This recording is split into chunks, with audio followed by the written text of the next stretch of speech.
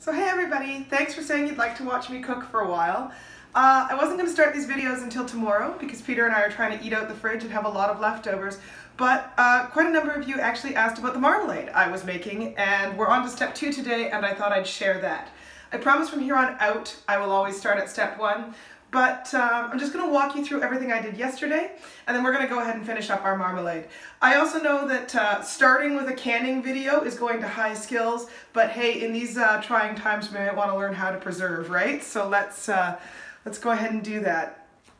Just a couple of quick notes. You'll notice that I am using a wooden spatula with a silicone top uh, that is one choice that you can make. You can just use a wooden spoon, you can use rubber, you can use silicone, any of that would be fine. What you don't want to use when you're canning, specifically when you're canning something acidic like citrus fruit or tomatoes, is anything with aluminum in it. Stainless steel, also fine. I'll be cooking in an enameled pot today, and uh, as we get a little later into the video, we're also going to talk about how to sterilize the jars so that everything that you're eating is nice and safe and sterile and should last for about a year. I decided to make marmalade on a whim. We were at the grocery store, we were out of jam, jam in jars is expensive, and oranges were on sale. So, I bought a 1.5 bag, pound bag of oranges, cost me about $4, uh, and a one pound bag of lemons, which I have not completely used. And a two kilogram bag of sugar. Two kilograms of sugar costs about $3. I'm also not using all two kilograms of sugar, but full fair warning, and you'll see when I add it, this is not diabetic friendly. Siegfried does not like making movies. Okay, good stuff, Ziggy. Or maybe he was just a little bit concerned about the fact that there is just over a thousand grams, 1,250 grams of sugar in this recipe, but please bear in mind that we are making at least 12 jars of marmalade here, uh, about five liters. How did I get to my five liters? All I did yesterday was take my beautiful oranges and lemons, and I'll uh, use a lemon as an exemplar here. I cut scores in quarters along the peel and simply removed that. Set that aside. Cut the lemons and oranges in half, juiced them with my little $2 plastic juicer, uh, set all of that juice aside, and took the seeds and the pith, so the pith is that yucky white stuff, and I tied those things up into this bag of muslin cheesecloth. Oh, and here, thank you so much. Peter's handing me my little $2 juicer. You can literally buy these at the buck store and they work great. In here is any pulp, any pith, and any seeds that came off my orange. This is just a bag of cheesecloth. You can use any kind of cotton and tie it up with any kind of twine, that's just fine. So a lot of the times when you're eating or using this fruit, this stuff is going to be considered garbage. Uh, but in this case, this is where the pectin from the marmalade is going to come from. So what the pectin is, is the compound that makes everything nice and thick and jammy. A lot of the time when you're canning strawberries or other kinds of fruits, you would buy something called liquid pectin. You would add it into the mix. Uh, in this case, the fruit creates its own pectin right here in the bag. I then took those reserve peels and I cut them into nice thin strips. You know, it's marmalade. You want to be able to spread this on toast, but still have some nice strips of fruit there. And that's what I did yesterday. Sounds like a lot of labor, I know, but it was two records worth of work, so about 40 minutes. So what we're going to do now is we're going to take the fruit, the fruit juice, and I topped the juice up with enough water to make it four liters. I had just under a liter of fruit juice by the time I juiced all my fruits. Everything else here is topped up with water. We've got the fruit peel and we've got our big old muslin bag full of pectin making goodness. I'm gonna set this on the boil and bring it up to a hard boil. At this time, there's no sugar in it whatsoever. Okay, so it's been about 20 minutes and my fruit here is now up to what's called a rolling boil. And if you've ever been curious what a rolling boil is, well, this is it. Your water or juice should be boiling so hard that the force of it is stirring everything around, making those great big bubbles. We are going to turn this down to what my recipe, and by the way, I'm using a recipe by Nigel Slater uh, that was posted in The Guardian in 2017. We're turning this down to what's called a hard simmer, so between three and four as opposed to one or two, but we'll keep an eye on that. This is going to simmer now until our little pieces of peel that are in here are soft, meaning that we can bite through them nice and easily, and translucent. That can take anywhere from 40 to 50 minutes, so we're going to leave that on to simmer for that time. So we've been boiling for just about 50 minutes and we're just about ready to go. Uh, before we move on to the next step, we're going to do just a little bit of prep. You can see I'm holding a plain old ordinary dessert plate. I'm actually just going to chuck this in my freezer. Uh, Peter, I don't know if you want to film the contents of our freezer. It's a bit embarrassing. Um, that's going to be there to get a little bit cold. It's going to be used in about half an hour as a doneness testing. We're going to go over that in a few moments. So in the ensuing 50 or so minutes that this has been simmering, you can see my peel has become nice and translucent and very hot, and this is a nice thick piece, and nice and soft and easy to bite into. It's also extremely bitter, which is why we're gonna add the sugar. Before we do that, we are going to grab up some tongs and take out our muslin bag here full of goodness. This has been floating and bubbling away with us, adding all its nice pectin. Just gonna let that drain for a sec.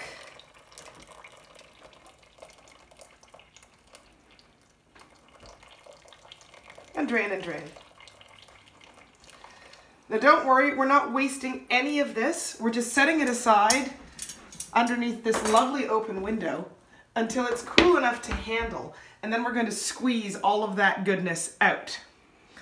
In the interim though, all of this sugar, but please remember how many jars of marmalade we're making, is going to go into the mix and we're going to bring it up to a rolling boil again. So here we go, 1,250 grams of the good stuff. I imagine that there are diabetic friendly recipes out there for things like jams and marmalade, which would give you sugar alternatives. I will just caution you when you're canning. Uh, it's kind of like making candy. You want to be very, very careful to follow a recipe to the T with things like sugar and pectin uh, so that you make sure that you are creating something that is thick and gooey and delicious and will preserve for a good long time. So we're going to turn the heat up, get that onto a rolling boil, while this has been simmering, we have started our great big canner pot boiling here. Uh, you can see there's a whole ton of water. Now, if you don't have a gigantic specialized canner pot like this, that's okay. You can use a soup pot, you can use a spaghetti pot. What you want is a big pot full of boiling water, and I'll show you how to do the jars in just a moment. Okay, while our canner is coming up to a rolling boil, I'm going to show you a few tools of the canning trade. Uh, none of these are necessary, except of course your sealing jars, but they are going to make your life a lot easier and they're really inexpensive. You can usually buy a little $5 canning kit at Walmart or Canadian Tire, and during the summer you'll often find them at grocery stores as well.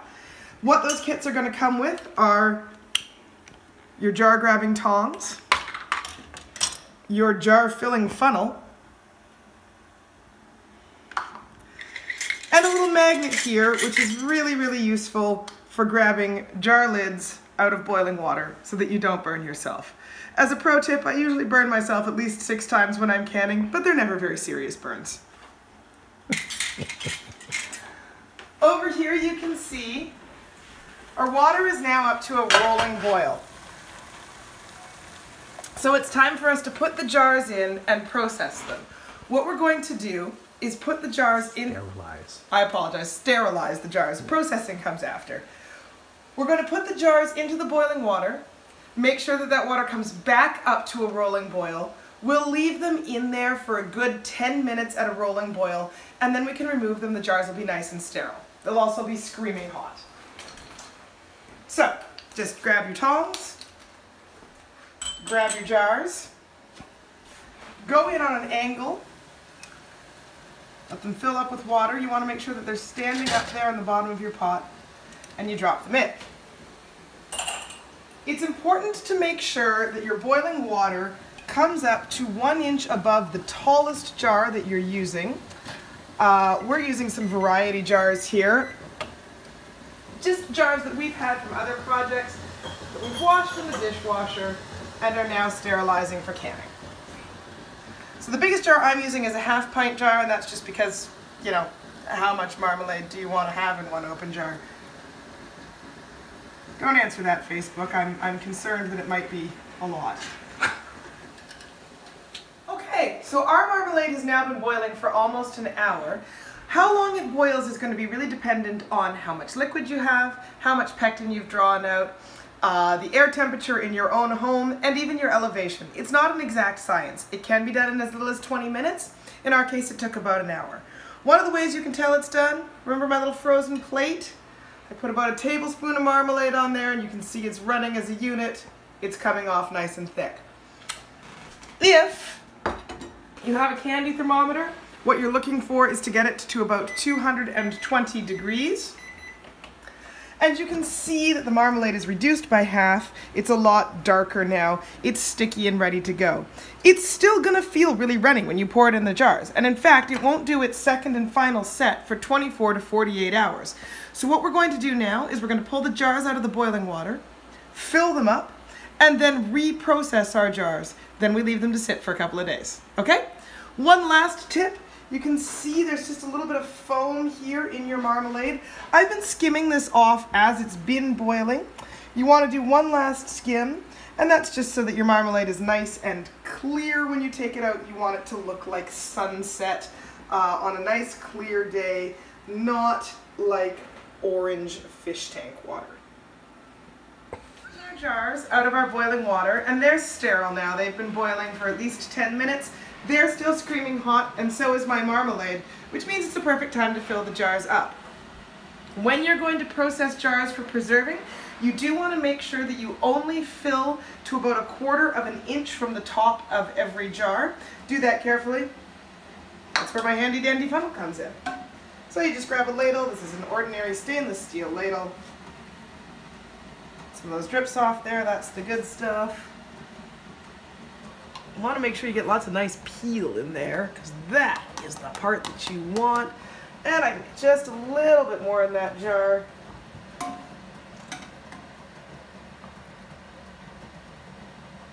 Just a tad, just like that. A little bit more. Maybe a touch more, says Pete. He's actually really the canning expert. He does most of our tomatoes. Oh, there we good. go. Perfect. All right, so we're gonna fill up the rest of these bad boys and we'll come back and show you how to put the lids on and throw them in for processing.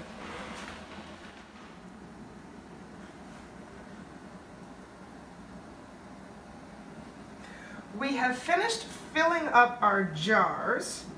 And what I'm doing now is just wiping off the rims, making sure there aren't any sticky bits left. Again, when you are canning to put things up for an extended period of time, Sanitation means safety, so you want to just make sure that everything is nice and clean before you put the lids on the jars. You'll notice we have two extra jars here.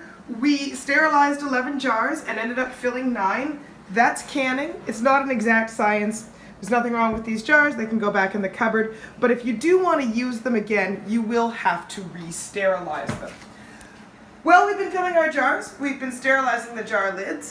Peter and I are going to take a couple of minutes, snap those lids on, and put the jars of marmalade back into the boiling water to process. We'll be grabbing our jar lids out of the boiling water with our handy magnet. As far as processing time is concerned, this is one place you want to be very exact. Again, this comes down to safety. Now my recipe from Mr. Slater didn't have a processing time on it. I've looked up on a number of different sources on marmalade and jams have all indicated that when you're sitting around sea level, which we are here in Sudbury, you can go ahead and process these for just five minutes. Uh, if you're at a much higher elevation, so if you're living up in the mountains somewhere, or a much lower elevation if you're down right at sea level, like somewhere in BC, you're going to want to go ahead and uh, increase or decrease the time that you're processing these accordingly. Just make sure you're looking up for the region that you're in. So we're gonna throw these down to process. We'll check in with you guys one more time before we say goodbye. So I am filming Peter doing this part, which is putting the jar lids on. because I hate putting jar lids on and Pete's really good at it. What he's doing right now is just putting those rings on just finger tight. That's all you need to do to process it. After the jars are protest, uh, protested, uh, processed. They might protest. They might protest a little. After the jars are processed, you'll take them uh, out, you'll put them right back on a tea towel like this one, and uh, you'll wait. The lids are going to make a popping sound. It's a very obvious noise. It'll take a few hours and they'll go. Uh, once you hear that popping sound, that's when you can tighten those jar lids. Uh, just give them a good hard crank so that your marmalade stays nice and fresh. Now, for this recipe, you can see we've got nine jars here. That's exactly two liters of marmalade that we've made. And that's from 10 uh, smallish to medium-sized oranges, four medium-sized lemons, uh, five, sorry, four liters of liquid, juice, and water, and 1.25 kilograms of sugar. So the return on investment on this one is pretty high.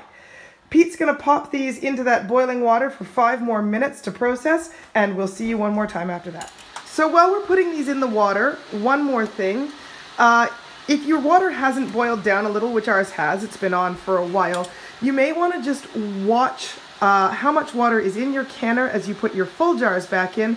Of course, physics being a thing, the now full jars are going to be heavier. They're going to displace a lot more water. So you do want to just make sure that your canner isn't over full. I'm watching our last four jars go in and it looks like we're good and we're just over an inch over the rim of our tallest jar again. Alrighty, out they come, processed and ready to go. Our beautiful jars of marmalade. Oh, pop. So that's good to know, they are popping. And that's the finished product right there. These are going to want to go ahead and rest on your counter for at least 24 and up to 48 hours. Pop! That's a good noise, by the way. That means everything worked properly. Just a few last words. Uh, I went ahead and did, as I said, 10 oranges and 2 lemons for this. That's because Peter really likes bitter marmalade, so we've made something very, very bitter.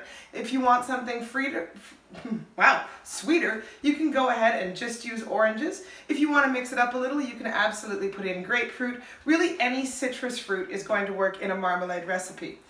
The other thing to remember when you're canning is to make sure that you make up some labels.